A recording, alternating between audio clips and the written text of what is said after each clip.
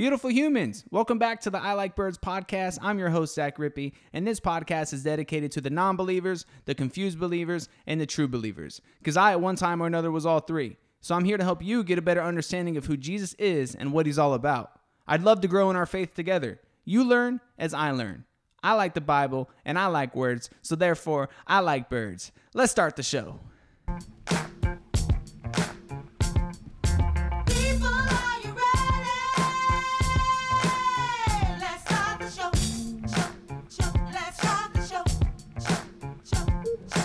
Ladies and gentlemen, welcome back to another episode of the I Like Birds podcast. I really appreciate you guys being here today. On the last episode, man, we talked about the church, right? Which, man, it was a bit hesitant to post that one because, man, the truth is, I can legit see myself working on staff at a church within the next few years because, like, that's kind of where my heart is. I know that's how you uh, connect with people on a bigger level. I know that's how you, you know, you kind of, uh, you give the word of God to people, but also I'm here to be honest, man. And if I feel something and I feel good about letting y'all in on the truth of what I feel, then that's what I'm going to do. Because the reason it took me so long to find the truth of like what the word said and like who Jesus was is because of all the deception that goes on in the Christianity in America, right? And that's a scary thing to say out loud. And it's an even scarier thing to actually process, which I've really been just reflecting. I've had a lot of time, guys. I've just been at home. I've been reading and studying and just really just communicating with other believers. And just, I've been in this place of just being able to really just think about things. And not to say that everything in the Christianity system in America is flawed, though, because I would be completely naive to say. It's just, and I get it. It's just people trying to figure it out.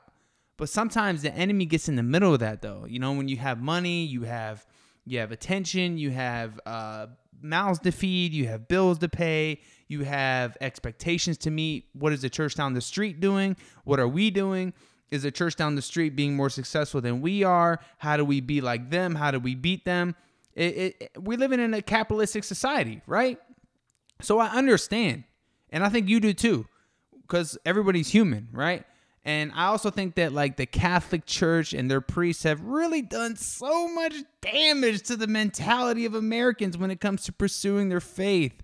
And I'm not saying I'm Catholic or anything like that, but just because Catholic and Christianity kind of believe similar things, not not all things, and you know, like they have things they they basically hear things at church and then they go home, right? They don't really read. I don't know. I don't really know too much, but uh, from my understanding, it seems that the priests have really done a lot of damage on the mentality of Americans. And I get it. I get it.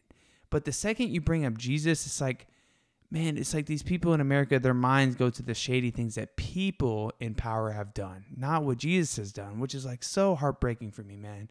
And it's so interesting because it really reminds me of the people in biblical times who went around acting like they were religious leaders and they gloated about their righteousness amongst people, when in reality, they were scumbags, hypocrites, as the Bible say. And I think we see some of that in America today, which is kind of what kind of turns people off from the church, turns people off from Jesus, turns people off from Christianity, and feeling how I used to, Zach Rippey, how Zach Rippey used to feel about Christianity, and how many of you may have felt at one time that the church is corrupt, right?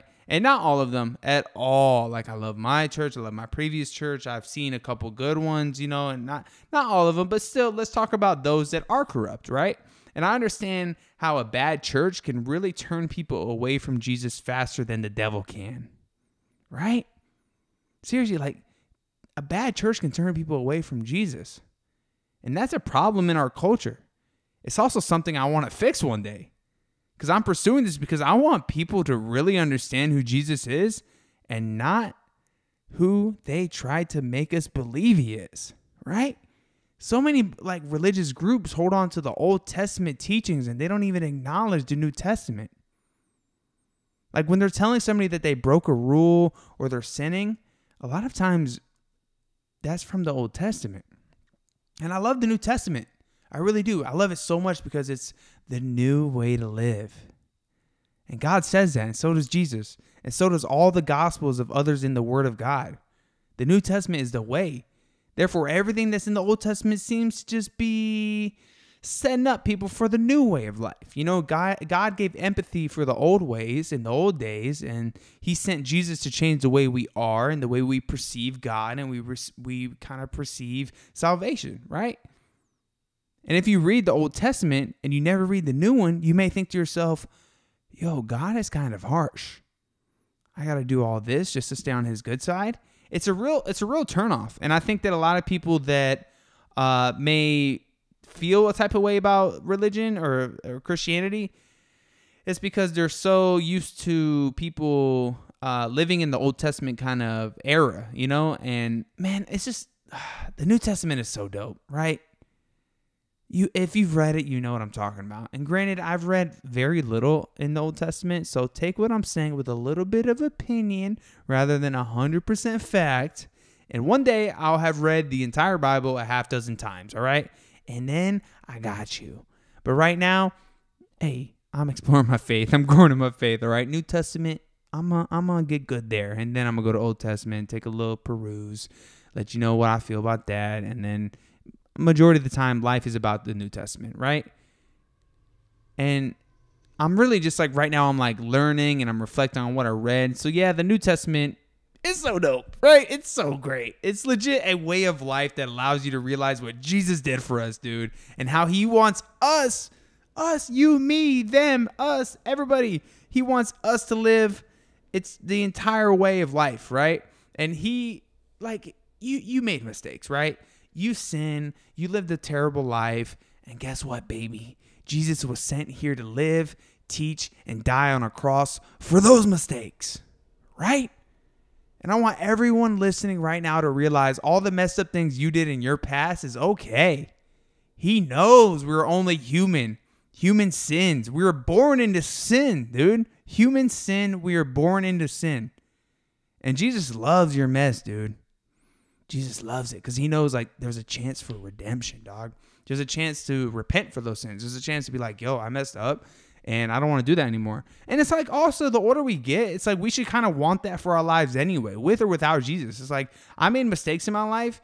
Why would I want to repeat those things? Why would I want to live in that same mentality, right? It just seems like the way of Jesus is kind of like growth. It's kind of like your frontal lobe kind of developing. You're being an adult, you're being a man, you're being a woman, right? You're not being a girl anymore. You're not posting those pictures on Instagram for attention or clout. Like, no.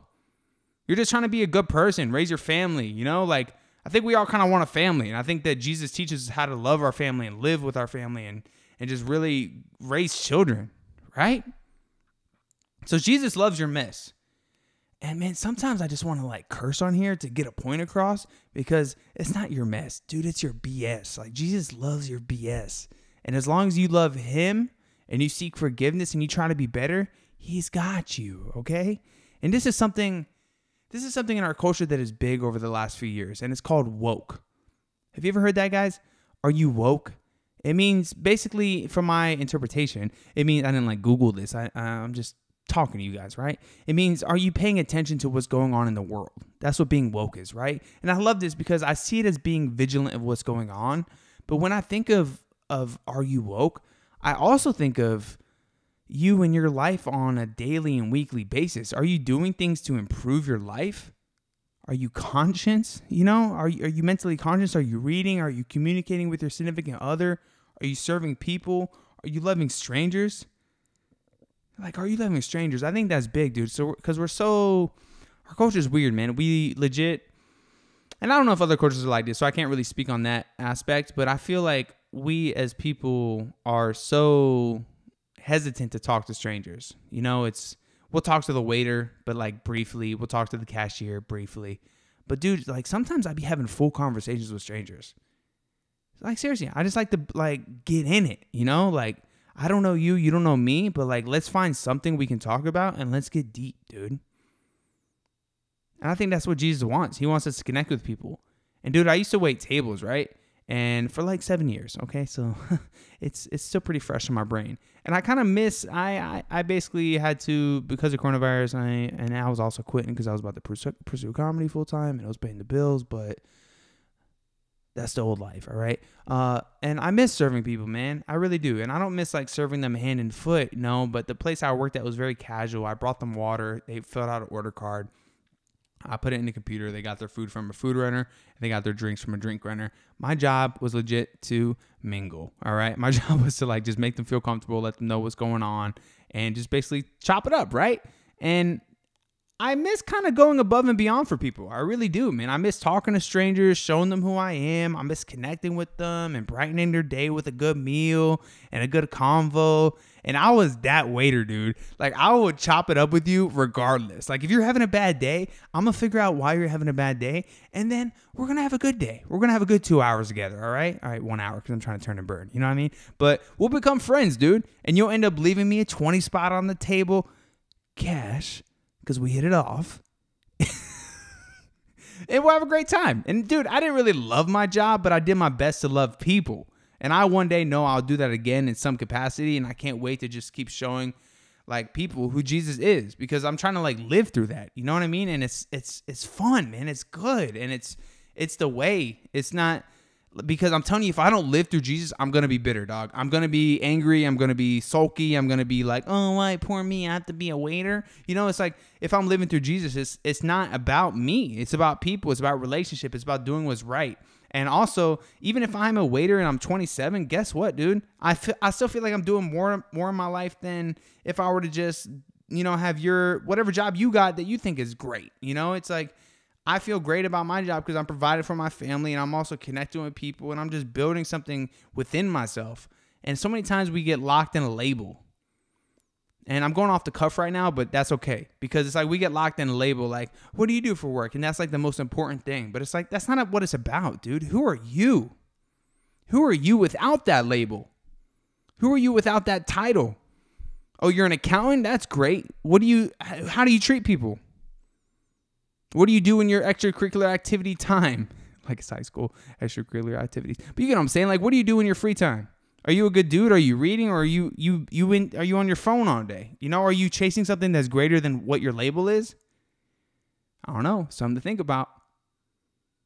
Do you even know who Jesus is with your label, or does your label distract you from Jesus?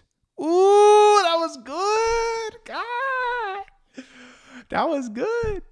Hey, think about that though. Like, hey, because like so many people that have a good job think that that they made it. You know, it's like, yeah, you made it on a financial standpoint, but did you make it as a person? Did you make it as a human being? Do people like you? Like for me, I've even I haven't even been really on the walk with Jesus, but it feels good to know that I have love and support and encouragement from people in my life that I've touched. And at the end of the day, it's like my label doesn't matter. My Instagram bio of what I do for life doesn't matter. What matters is how I make people feel, what I talk to them about, what we connect with. Like, I feel good just connecting with people that I'm not even really friends with, right? It's like I'm not gonna, we're not gonna hang out, but when I talk to you, we're having good vibes, dude. We're having good talks, we're having good energies. I like that. And that's because of Jesus, dude. It's not because of me. It's because of like the way Jesus is wants us to live, right? I don't know, man. I went off on a little tangent there, but that's just that's just what happens on the I Like Birds podcast, right? I'm a little hyped up right now, dude. I did have a glass of wine, so forgive me. But uh it feels good. It feels good to be uh out and about, right? On the pod.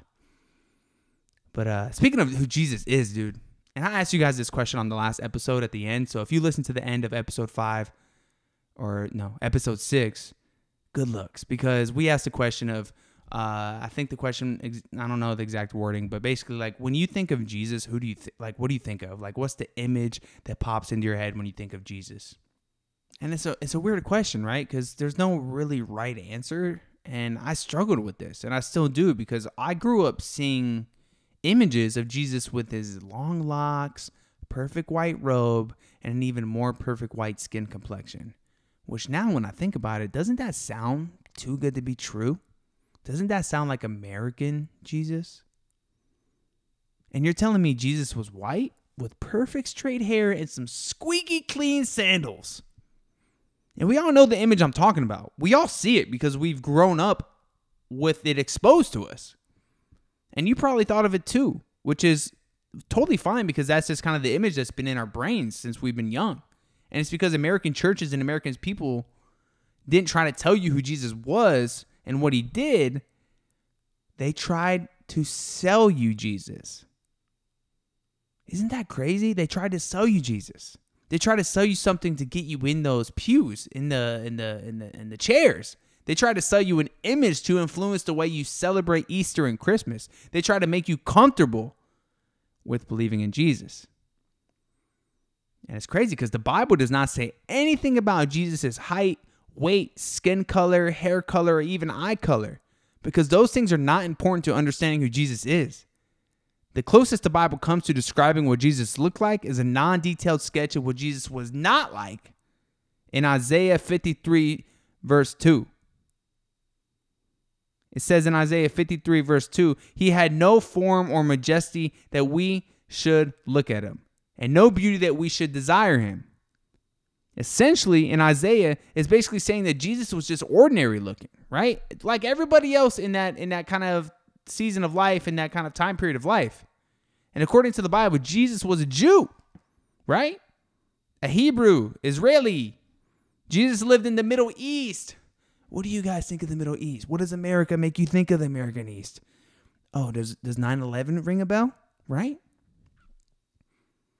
So therefore, let's make Jesus white, right? I don't know how y'all feel, but I feel weird about that. I feel weird thinking that. I saw this thing uh, a while back that said, uh, if Jesus sat next to you on a plane, you'd be scared. Ooh. Memes are real sometimes. Memes are great because uh, they kind of speak truth. They speak truth in a comedy sense, but also that's a reflection of us, dude. Like, seriously. The media has made us dislike Middle East, you know? And I get it. But also, look into it. You know what I'm saying? I'm not gonna get all weird on y'all like Building Seven. Just it's a little weird. Check it out. Uh, and as a result, back to what we were talking about. As a result, he very likely would have had a light to medium brown skin, brown eyes, and even dark brown to black hair. Middle Eastern. And people associate Jesus as their skin color. And I get it, man. It's like black people think Jesus is black, white people think Jesus is white, etc., etc. And is it wrong to do this? I don't think so. Not necessarily. But as long as we do not allow our preferred image of Jesus to become an idol, right? There's nothing in the Bible that speaks against imaging Jesus looking a certain way, but Jesus is the savior of all nations, right? It says that in Matthew, it says it in Galatians. No matter a person's skin color, race, ethnicity, or nationality, he or she can experience forgiveness of sin and reconciliation with God through the crucified and risen Christ, okay? The love of Jesus transcends skin color. It means it doesn't have any impact, all right? It's a it's a heart thing, not a, a body thing, right?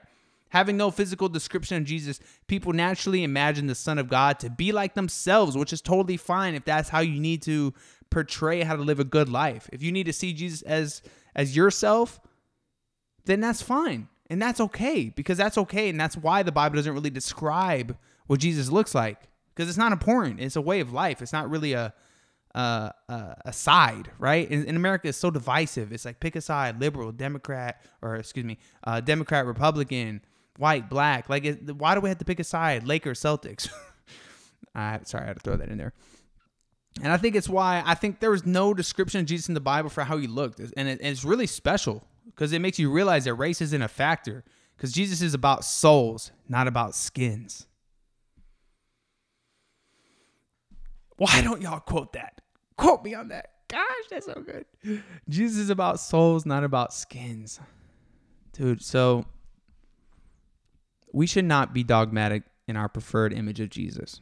The fact that the Bible nowhere gives a physical description should serve as a caution against arrogance and presumption on the subject. What Jesus looked like does not really matter. His physical appearance has absolutely nothing to do with his being the savior of the world. Isn't that crazy? As much as we see the divisiveness in America and the the team choosing, isn't it crazy that when you follow Jesus, it doesn't even matter how he looked? And how a Bible that has hundreds of thousands of words never took the time to tell you that how he looked because it's not important. Because if you're black, I want you to believe that Jesus is black. If that helps you believe in Jesus, like because Jesus isn't just a us. He's not us. You know, he's perfect. He's for everybody. He's for all nations. You know, he's for Africa. He's for America. He's for North America. He's for Australia. He's I don't really know all the continents. He's for Asia. he's for Europe.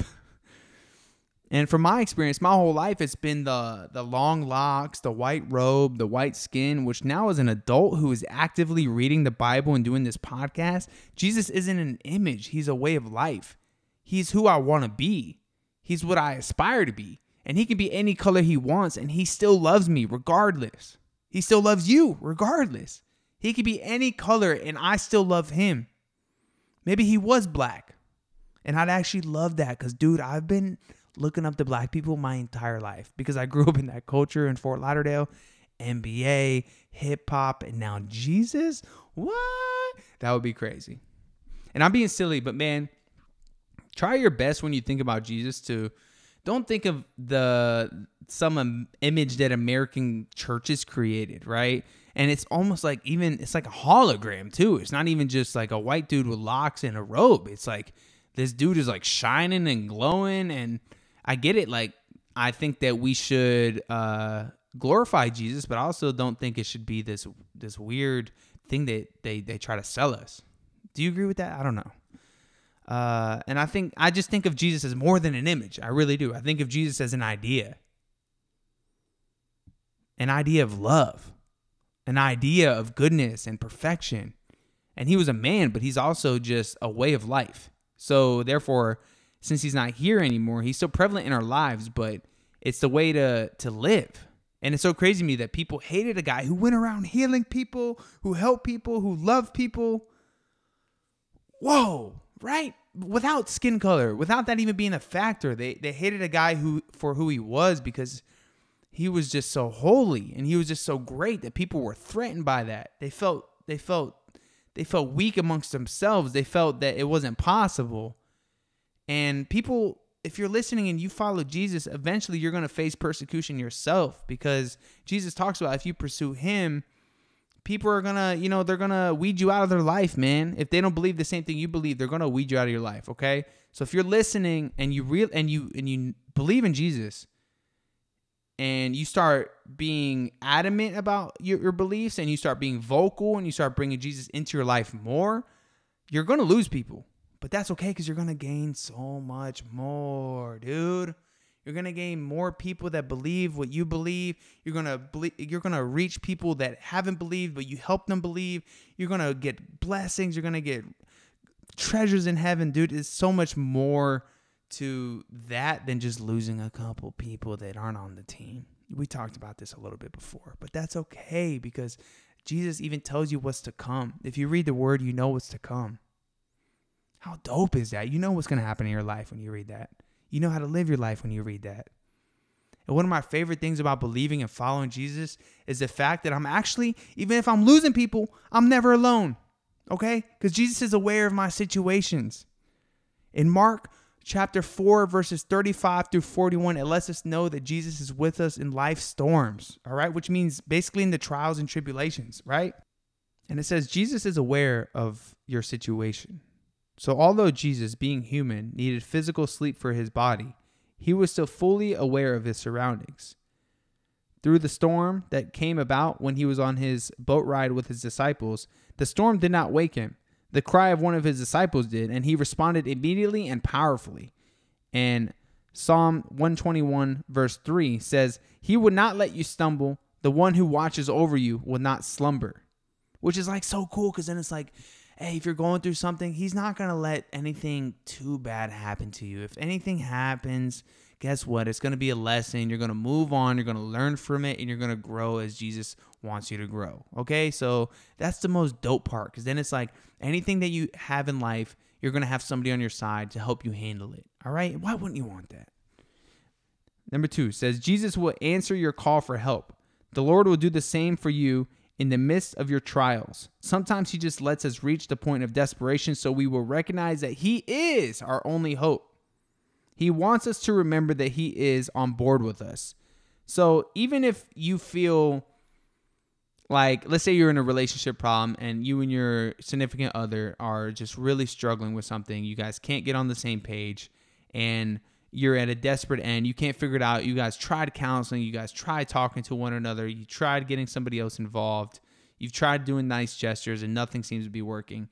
Call out to Him to help you in your marriage or your relationship, and I promise you, and He promises you, once you reach out to Him, He will help. He will find a way to mend those that that problem that you're having. Okay, so I think that's so dope and it's so important for them. When and it seems to me that man, when when in my previous experiences with with who I was as a man, if I were ever going through something, I would kind of not really go to him first. I would go to humans first. I would figure out the human. I'd be like, oh, I can figure this out. But it's like, hey, let me just ask God for this this thing. Let me ask Him to help me with this thing I'm struggling with and every time I do, he always comes through, man. He just came through for me uh, a few days ago, and it's been so dope, and I'm so grateful. And it makes me just so hyped to just keep doing the podcast, keep reading, keep keep getting in it, man, because it's only just attracting more and more blessings. All right, and and same for your life as well, guys. Number three, you can make it through. Every one of us is going to face hardship, but only the child of God has the promise that God's presence is with him or her in the midst of the storm. As Jesus didn't leave his disciples, so God would not leave you stranded in the middle of your problem. Although he didn't promise smooth sailing, he did promise safe passage. Paul reminds us, my favorite in the book, Paul reminds us that I am certain that God, who began the good work within you, will continue his work until it is finally finished on the day when Jesus Christ returns.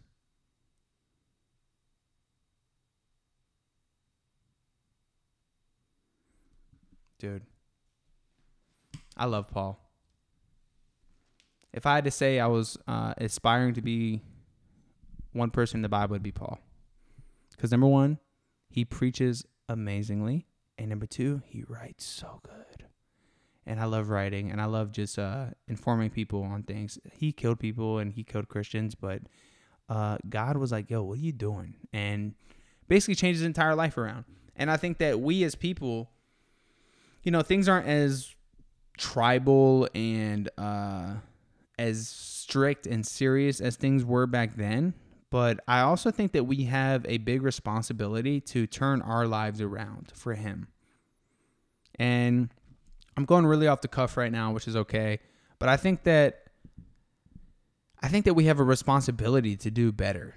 And I think that we need to be striving for greatness. You know, LeBron talks about that a lot. And I mean, he's on a huge other platform than I am, which is totally fine. And he chases greatness, and I think we should tr- chase greatness not even just in our sport, but something in ourselves. I think that we should always try to keep just doing the things that make us better. And I love it. I love it because then when you're on a long car ride and you're thinking about your life, you're going to be proud of yourself. You're going to realize your your your 27th year of life is going to be better than your 26th year of life. And then when you turn 30, you're not going to be bummy and, and feel bad about it. You're going to be happy because it's another chance of like just being better as a person. And I think that Jesus really helps you get there. And I really appreciate you guys listening. And this has been a fun episode, man, because it just feel, feels really like loosey goosey. Probably because I had a glass of wine.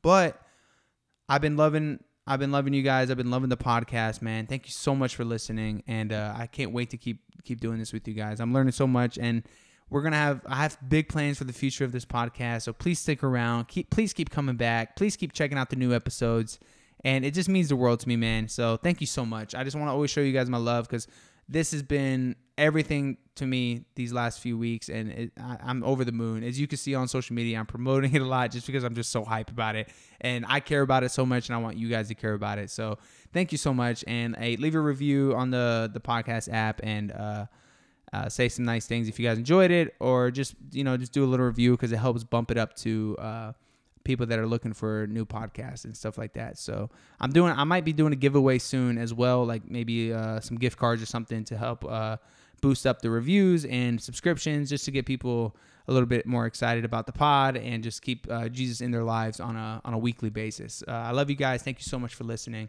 And this is the I Like Birds podcast. God is good. Jesus is dope. Take care.